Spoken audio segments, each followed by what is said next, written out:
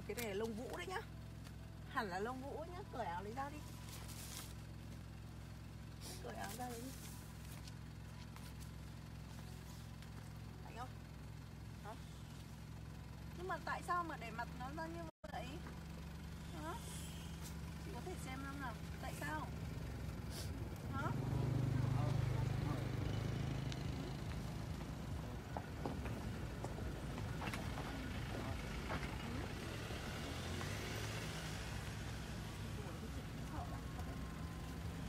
Tại sao để mặt nó ra như vậy? Hả? Ừ? Nhà em ở đâu? Nhà em ở đâu? Thế này không biết là trong các bạn tôi thì có ai là bác sĩ có thể à, chữa trị cho em ấy không ạ? Tôi thấy thế này không ổn một tí nào em ấy chắc chắn là vừa bị à? Hay bị lâu rồi? Thế này thì hỏi em chắc chắn là bị bị làm sao nhở hay là bị hói hay là cái gì đấy nó nó đốt vào em đúng không? Hmm. cái Mặt mũi này không biết là có bác sĩ nào mà có nhà hảo tâm nào mà chữa trị được không nhở? Em cứ nghĩ đây là vụ nổ gì đó. Nổ à? Vụ nổ đúng không? nó nó. Nó nổ à? Mắt của em có nhìn thấy gì nữa không? có Có nhìn thấy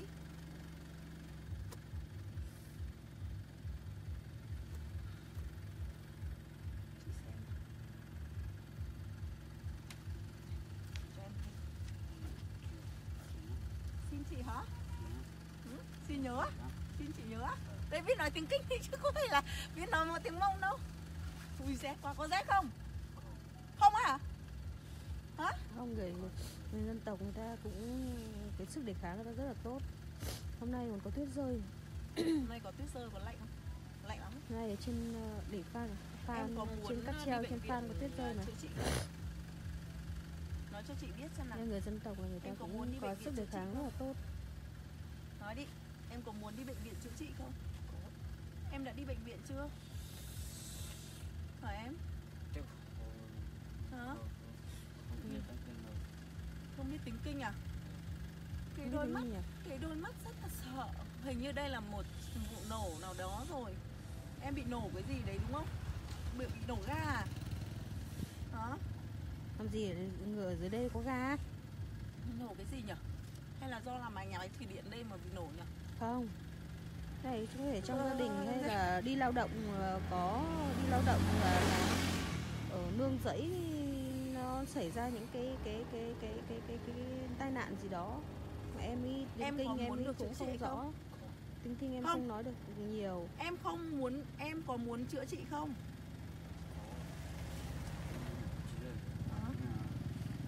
cái cái cái cái cái cái cái này cái này cái Em có muốn đấy. đến bệnh viện chữa trị không? Chị hỏi em là có muốn chữa trị không? Không Thế là sao nhỉ? Em có muốn đến bệnh viện điều trị không? Ở đấy có rất nhiều bác sĩ thẩm mỹ có khi làm đẹp cho em Em có muốn không? Hả? Hả? Chị quay gần đôi mắt xem xem sẽ có bác sĩ nào đó giúp cậu bé này đôi mắt mọc mủ hết này. Cái đôi mắt mọc mủ. Ây ơi, ơi, em rất là sợ cái đôi mắt mọc mủ hết và chảy rớt xuống tận mồm và cần một ai đó điều trị cho cậu ấy.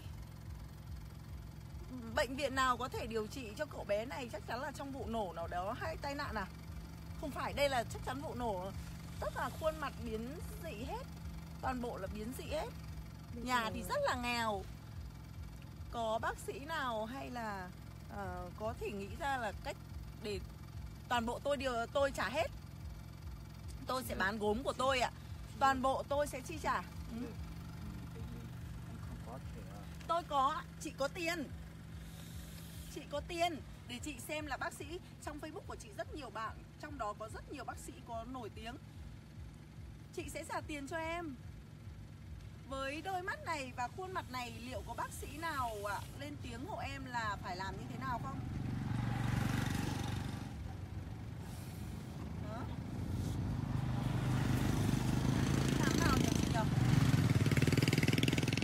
Bây giờ tại vì đây là mình một trường hợp mình ờ, gặp rất là bất ngờ bây giờ mình sẽ phải tìm hiểu đã. Nhưng mà bây giờ Nhà mình sẽ phải tìm hiểu thứ nhất là hoàn cảnh gia đâu? cảnh nhiệt gia đình ở chỗ nào? Ở kia. Ở cao kia và cái nguyên nhân như thế nào đấy? Và cần kinh phí như thế nào để cho, chữa trị? cho Anh chị, chị quay sát cái mắt có. của em quay đi. rồi quay rồi quay, Quay sát cái mắt đi thì bác sĩ. Trong Facebook của em rất nhiều bác sĩ ở nước ngoài. Rất nhiều luôn ý. Và mủ của em ấy đang rất nhiều mủ ở mắt. Chảy xuống khuôn mặt thì biến dạng ấy. Chảy xuống cả mồm nữa. Mồm biến dạng hết là bây giờ là xem Có cách gì không Cũng là một con người mà. Chủ yếu vẫn là tiền. Có tiền thì sẽ điều trị được đúng không? Em có muốn điều trị không? Em có muốn điều trị không? Em bao nhiêu tuổi rồi nào? Số tuổi Hả? Ừ, số tuổi Bao nhiêu? Sáu bây giờ trên xe mình lại không có những cái loại thuốc ấy nhỉ? Trên xe không có những cái loại thuốc Ờ. để vệ sinh. Trên xe mình không có. Thế này nhá Trời thì rất rét mà chị lại rất nhiều quần áo. Ở đây xin chào chị à, sẽ các mạnh thường quân vì hôm nay ờ, À, tại chị sẽ ờ, cho em Sapa một số điện thoại của ờ, chị. Em hãy thì, ờ, Sapa mình, bảo bố ờ, mẹ nếu mà em em muốn độ đi bệnh viện hãy liên lạc với có chị tuyết rơi trên đỉnh Phan đang có tuyết rơi nên là thời tiết rất là lạnh. Sẽ có có bút không? Chị cho chị mượn bút. Hai chị em cũng thông dong ở trong xe mình có trong túi của chị. Nên là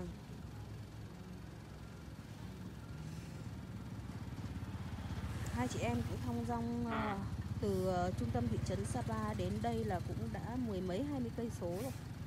Mười mấy cây số rồi. Đi vừa đi vừa gặp trẻ em chỗ nào thì trao quà chỗ đó. Thế nhưng mà gặp trường hợp này là một ờ, trường hợp Đây. rất là đáng thương. Mà không đây biết là số là điện thoại là, của chị. là, là nếu em đau quá và gia đình em muốn ờ, đi bệnh viện lý do em là vì muốn tai nạn hay là vì cái gì? Bây giờ Giữ xuống đi live nhá. stream sẽ tí nữa xuống live stream thì sẽ hai chị em sẽ Đây tìm nhá. hiểu hoàn cảnh như thế nào. Đây là chị à, chị Ngân nhá. Nhớ là chị có thể điều trị cho em và chi trả toàn bộ khoản tiền mà em điều trị. Hoặc là chị sẽ kêu gọi. Bây giờ nhá em cầm số điện thoại này. Mà em đau quá thì phải bảo bố đưa đi bệnh viện nhớ chưa? Đây là số của chị Ngân nhớ chưa? Và em có thể gọi chị bất kỳ lúc nào. Nhớ chưa? Em tên là gì nào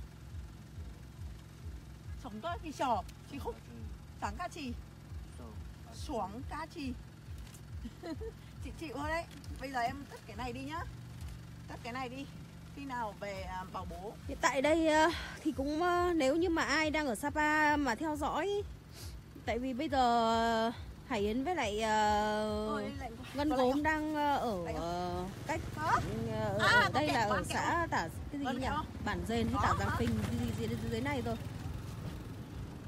Ờ, gần đến thành phố à, ờ, gần đến cái gì ờ, gần đến cái gì đây? À, cái gì nhỉ? Vừa đi qua thủy điện xéo trung hô. Thì à, ở xem các bạn là ở, ở, ở quanh khu vực này xem có một cái điểm trường uh, mầm non hoặc là uh, lớp 1 ở, ở trung học cơ sở lớp 1 lớp 2 gì đấy. Thì uh, gọi điện cho Hải Yến ờ, gấp để ờ, đưa đưa đưa đưa đưa một số những cái áo ấm ở đây là còn hiện tại ở đây là còn ở trong xe là còn ờ, tầm khoảng năm chục chiếc áo ấm cho các cháu cỡ khoảng từ ờ, có muốn chia ba sẻ bốn không? tuổi từ ba từ 3 tuổi cho đến 10 tuổi thì mong các bạn gọi điện ờ, cho? Yến luôn nhá. Số điện thoại là đâu? 0985125999 có chưa? Số điện thoại của chị ở đây. Để ờ, này. Yến và bạn Ngân đưa số áo ấm này đến một ờ, trao cho các ờ, Đây là cháu tiền. mà hoàn cảnh nhất. Cái này là tiền cất ở đâu? Tiền cất ở bên trong. Thì hai chị em rong ruổi từ sáng đến giờ rồi. Đây là số điện thoại của chị. Ở đây. rong ruổi từ sáng đến giờ rồi ờ, cũng Không có tiền. đã Có trao à, đi sim á. Điện thoại không sim. Đã trao ờ, áo ấm dần rồi. Hiện tại bây giờ trong ờ, xe là vẫn còn ờ, khoảng hơn chục là hơn hơn năm chục chiếc áo ấm nữa. Thì chị mong mọi nhá. người ở khu vực này. Chị đi thật đây. Nếu nếu, nếu mà đau quá hoặc là biết cái điểm trường nào khó khăn nhất? Có chị có hay lấy số chị hả? À. Xin số chị. Chín ba tám tám bảy chín tám năm Đó, đây, ông chín tám ba tám chín tám năm hãy liên hệ với chị Kim cần giúp đỡ nhé chị Ngân nhé đâu em tự ghi đi chị Ngân. Alo ạ. Tạm biệt. đi đây. Ừ đúng rồi. Tạm biệt. Em chào đi. Các anh chị quay lại một Ờ, lần chị nữa livestream nhá. chị đang livestream ở chị Quay đang ở lại- khu vực chị quay lại trực tiếp để các bác để- sĩ mà có đang biết là em phải nên làm gì với cậu bé này thì hãy giúp ở đỡ em. nào đấy?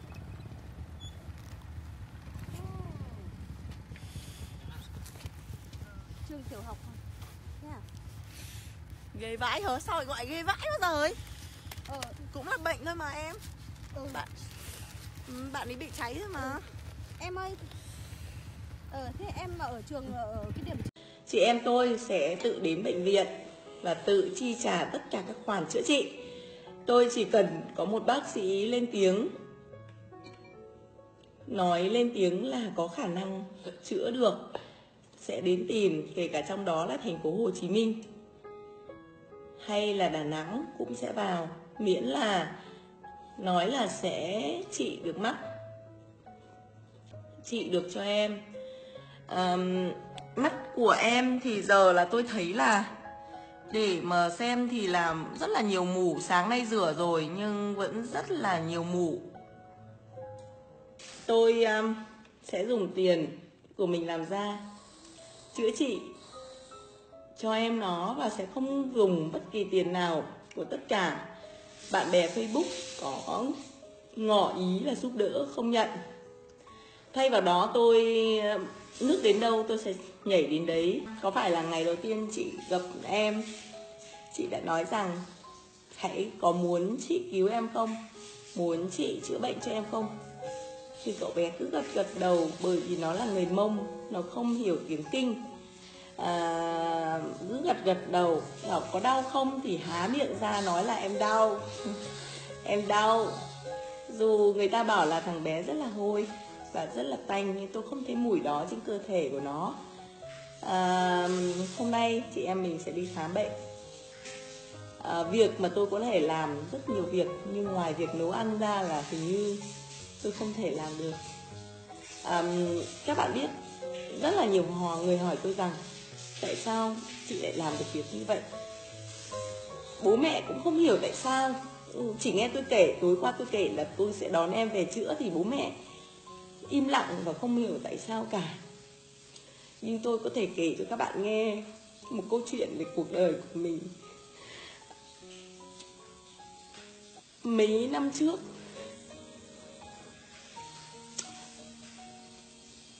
tôi um, tôi uh, bị uh, nhốt bên nhà tù nước ngoài. Và khi đó có rất nhiều người Angola bị đánh đập. Và họ da đen họ cũng bị đánh đập như người da đen. Và khi đó cái cậu bờ bị đánh đập dã man đó cậu bé thốt lên rằng khi mà đau quá và bị đánh thì cậu bé đó mới thốt lên rằng đừng làm ơn, đừng đánh tôi. Tôi cũng là người Việt Nam. À tôi cũng là người Angola. Tôi cũng da đen mà. Xin đừng đánh tôi. Tôi là người da đen. Tôi không phải người da màu. Hãy đánh người da màu kia đi. Họ họ với khác da của các người. Tôi là người da đen mà. Đừng đánh tôi. Cậu ta hết như một con thú. Nằm ở giữa mà người da đen vẫn đánh họ. Chung một dòng máu, chung một da mà họ vẫn đánh dã man đến như vậy, thì tình người ở đâu? Từ lúc đó là nhìn thấy đánh quất tiếng cậu ấy kêu như một tiếng xe ban đêm như một đứa trẻ khóc ý trong tâm tôi cứ mỗi tiếng vọt lại rất là nhớ dai. Những ngày tháng đau khổ của cuộc đời mình, cảm thấy như bây giờ, như ông trời đã trả lại cho tôi một cuộc sống tốt hơn. Vậy nếu ai đó may mắn gặp tôi trong cuộc đời này Dù bất hạnh đến bao nhiêu Tôi cũng sẽ giang tay ra cứu giúp. À, Mọi người nói vì sao chồng tôi bỏ tôi? Nhưng tôi nói là tôi không bỏ Anh ấy không bỏ tôi mà tôi bỏ anh ấy. Bởi vì tôi quá tốt.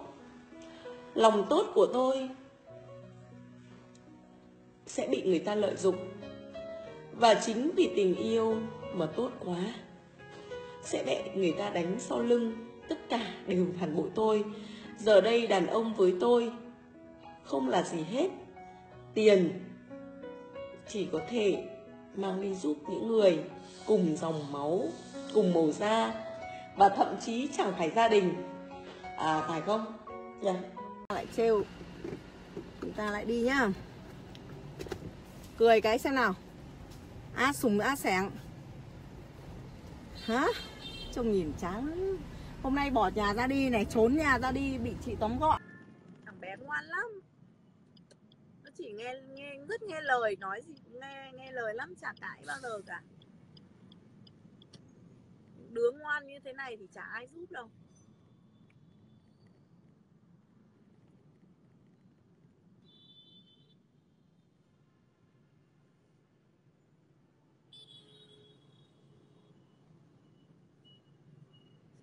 Đến bệnh viện.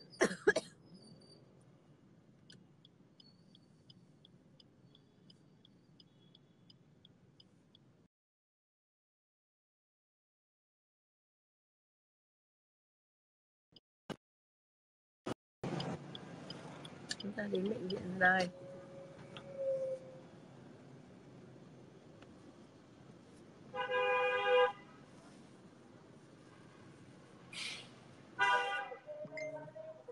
anh ơi gửi xe đâu nhìn với ánh mắt thế gì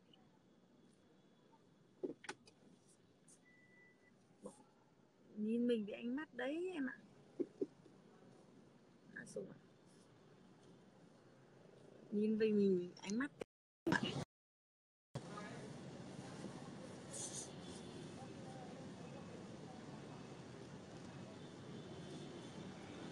sống trong đời sống tình có đừng thà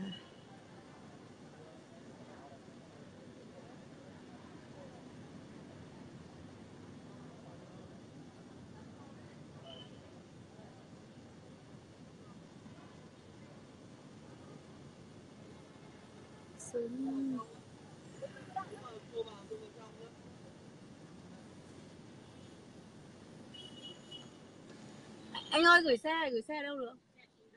Đi vào khu, khoa thẩm mỹ.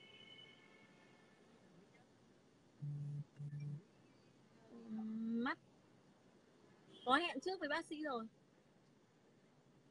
Bây giờ em đi thẳng vào nhá.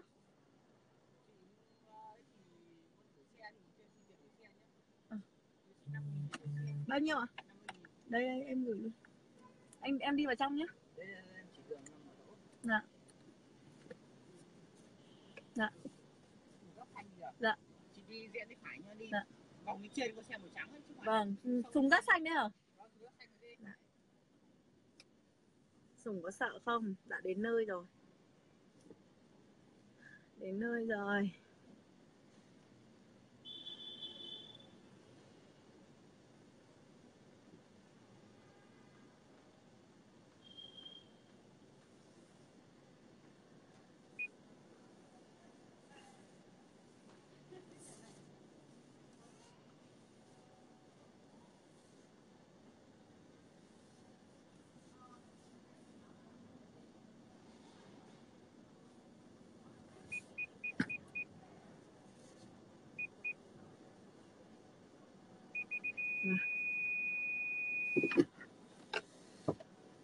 Từ từ đã, từ từ đã hàng xuống.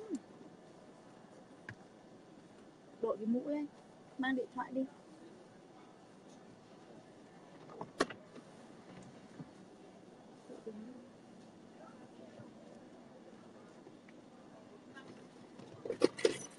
Cầm sạc pin đi. Không được thì tí chị mua cục dự phòng khác.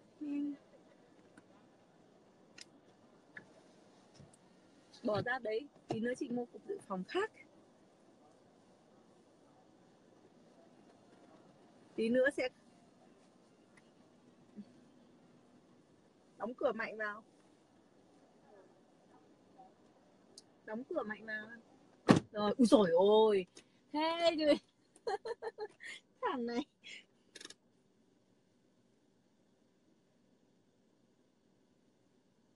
Rồi, chị em em đi đây chị em đi đây. Chị em em đi đây. Đây.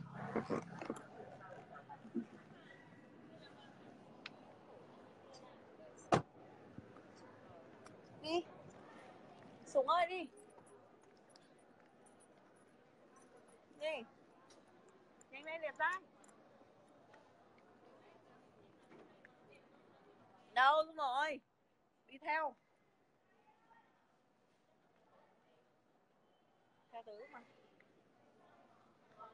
Ừ, chị lạnh quá quên mất là không mặc áo khoác quên mất là không mặc áo khoác lạnh quá.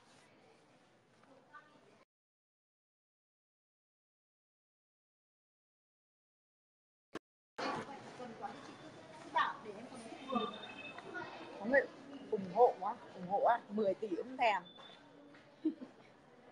Cười cái. Có sợ có run không? Có run không? Có run không?